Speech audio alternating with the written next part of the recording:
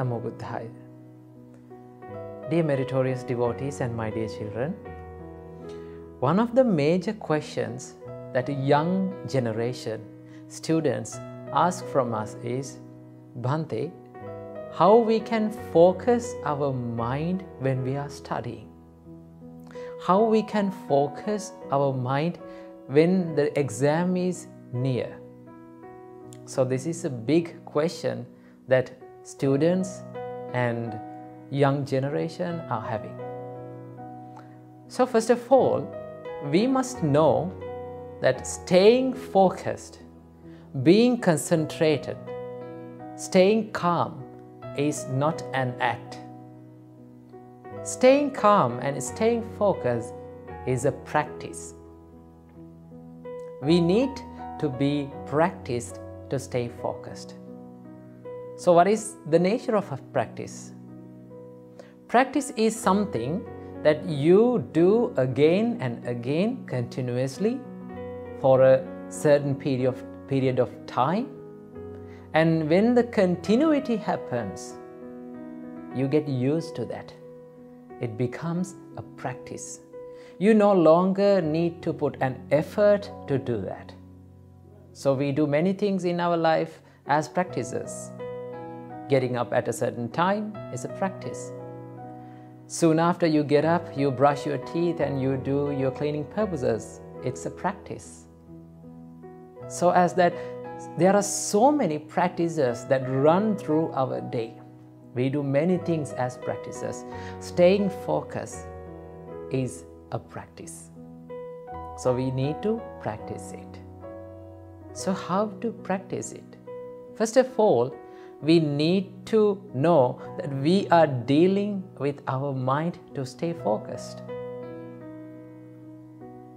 So, before staying focused, before practicing to stay focused, we need to know about our mind. How the mind works, how the mind behaves. Supreme Buddha taught us the nature of this mind is like a monkey. So, what is the nature of a monkey?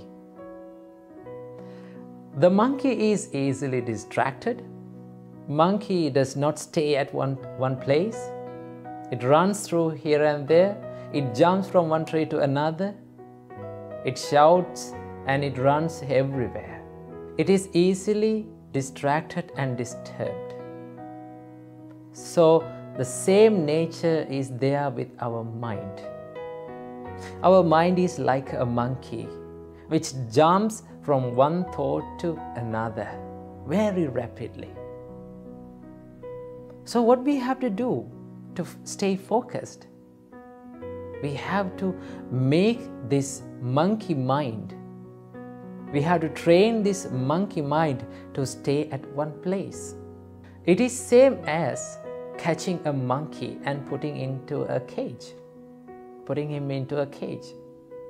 So what do we need to do to catch a monkey and put him into a cage? We need to practice or train that monkey to come into the cage and live inside that. If we catch the monkey and put him into the cage at once, it will be distracted even more. So, what we have to do, we just need to open the cage and put some foods inside and let the monkey comes in and grab the food and go. So in the first day, the monkey comes in and grab the foods and it runs away.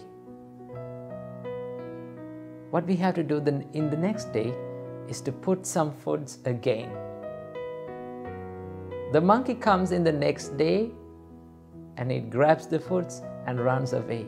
If we keep on putting food inside the cage for a little time, the monkey get used to it and it starts to think that it is very safe inside this cage than being in the forest. I get my food and I am safe inside it, so I must live in this cage. Same like that, dear meritorious devotees and my dear children, we have to train our mind to be at one place. So, how to do that? we can do certain meditations and certain tricks to stay focused and to keep our mind within ourselves. It is quite normal then the mind to be distracted easily. That is the nature. It runs everywhere. It runs from thoughts to thoughts very rapidly. So, what we have to do, we have to keep on taking back the lost consciousness or the lost contemplation again and again to our focusing thing. So, for an example, when we do meditation, it is quite normal, our mind will easily be distracted when we are doing the meditation. So, so for an example, if we are doing the breathing meditation, we keep on thinking about the flow of breath. But the mind is not ready to stay at that in that moment at in that focus point. So what the mind does? It jumps out of our focusing uh, thought and it runs away. So as an example, when we are doing the meditation, the mind will wander here and there for a long time. So, what we have to do?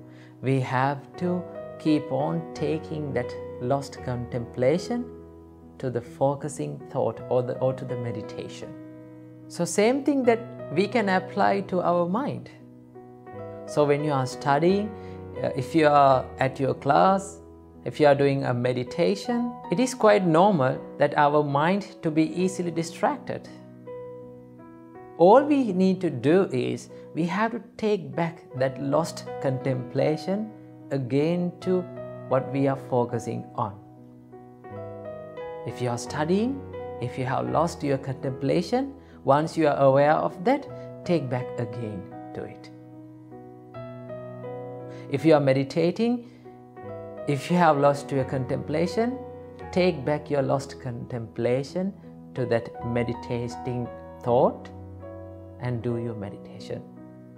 If you keep on doing this, if you keep on practicing focusing on yourself,